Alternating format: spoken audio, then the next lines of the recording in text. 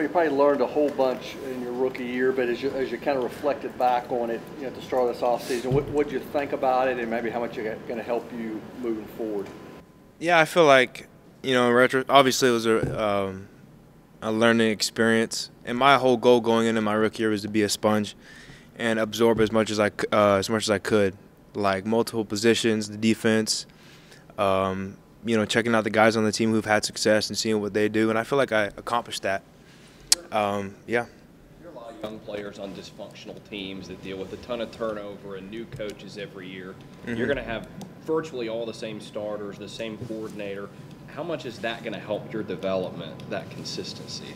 Yeah, I think so. I mean, it, it's something to be said. Like going into year two, like you know the defense. Like I was watching film of my past, you know, my past games, and I was like, dude, what are you doing? Like now I know. And there's also something to be said about taking time off and really like letting what you learn like really like taking time off it's like you absorb it in your unconscious even more. So um, i think it's just with time everything is better with time. Elijah, what part of part of your game do you think you need to work on the most and how have you maybe incorporated that into your off season at this point?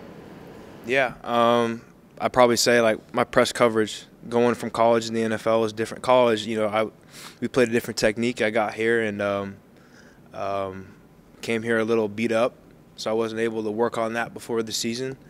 Um, you know, now what I've been doing is just kind of like right now I'm rehabbing and just watching film, and, and what I'm not doing physically, I'm able to do mentally, um, watching different different nickels in the league. Sorry, how hard was it watching the Bengals playing the Super Bowl? Uh, I mean, it, it was it wasn't that tough. You know what I mean? Like they, you know, they deserve to be there. Um, you know, it stung a couple days after our game, of course. Uh, yeah. More physical game than college. When when you got a day or two removed, like how did you feel physically? Did you was there a point where you thought, "Wow, I'm I'm tired"?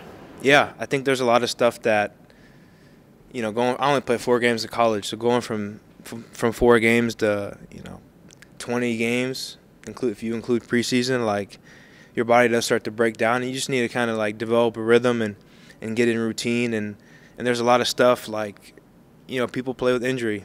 You know, I think it's it's probably more common than you think, and uh, it's just part of the game. So it's like once when you're limited physically, you got to like turn up everything. Um, you know, all the intangibles. Uh, Elijah only got to play those four games here last year. Sort of in that late, Caleb Farley hadn't played a whole lot last couple years, how important is it to him to maybe get a full, you know, as full as he can off season in order yeah. to, to be ready for, for next season?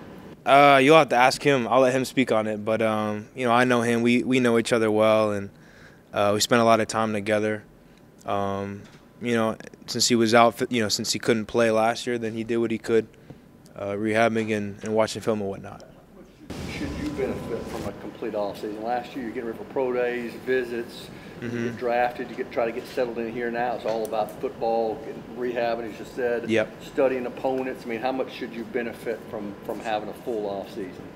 Yeah, I think you know first and foremost, there's something to be said about like stepping away from the game. I got married, had a little honeymoon, um, and that time that time is key because it allows you to like, you know, reset.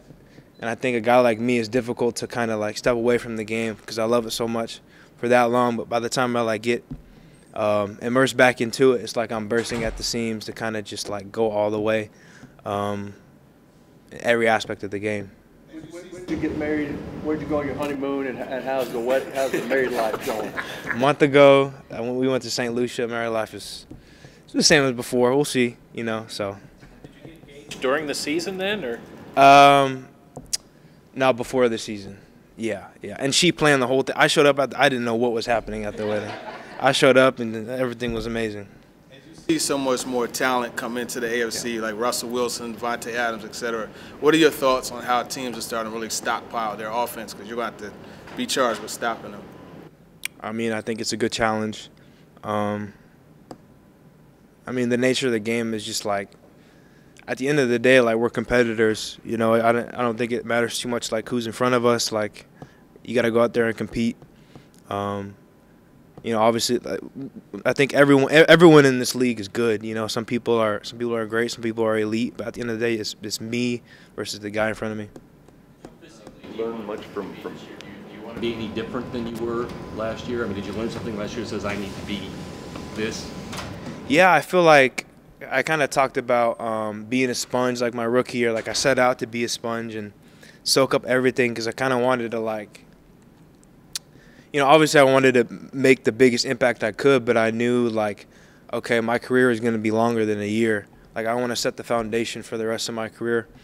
Um, and I think part of like kind of taking everything in, it was like, in a way, I was a little pass. I was passive because um, I was observing other people. I wasn't necessarily like going out there and like putting my stamp on the game. So this year, now that I kind of you know know the environment, I'm I'm used to the uh, used to the NFL. That's when I can go out there and do what I do. from Buster Skrine last year, and were you happy to see the Titans?